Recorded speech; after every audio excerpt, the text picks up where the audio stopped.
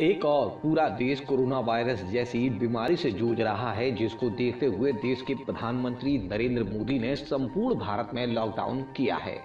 जो लोग यहाँ फंसे हैं, वह अपने घर जाने के लिए पैदल यात्रा कर रहे हैं। ऐसे लोगों की मदद के लिए आगरा पुलिस मसीहा बनती हुई नज़र आ रही है। जी हाँ हम बात कर रहे हैं आगरा पुलिस की।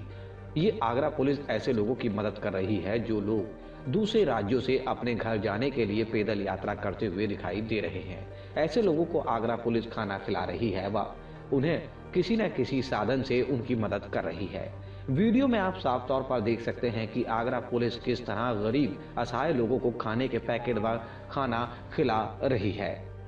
वही पैदल यात्रा कर रहे लोग, जिनके पैरों में छाले पड़ गए हैं, जो कि कोसों मील दूर पैदल चलते हुए आगरा पहुँचे, ऐसे लोगों को ट्रकों में बिठाकर उनके शहरों तक पहुँचाने में भी आगरा पुलिस मदद करती हुई नज़र आई। कोरोना वायरस जैसी बीमारी से लड़ने के लिए मोदी सरकार ने देश को लॉकडाउन कर दिया है। बसों पर रोक लगा दी गई है, ट्रेनें भी बंद कर दी गई हैं। प्राइवेट वाहन भी सड़कों पर नहीं चल रहे।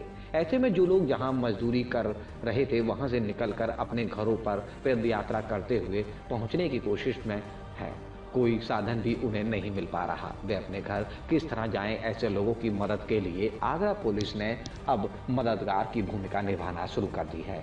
वीडियो में आप साफ़ तौर पर देख सकते हैं कि ऐसे लोगों की मदद के लिए अब आगरा पुलिस ट्रक सड़क पर चला रही है और ट्रकों में ऐसे मजदूरों को बैठाकर उनके शहरों तक पहुँचाने का काम कर रही है।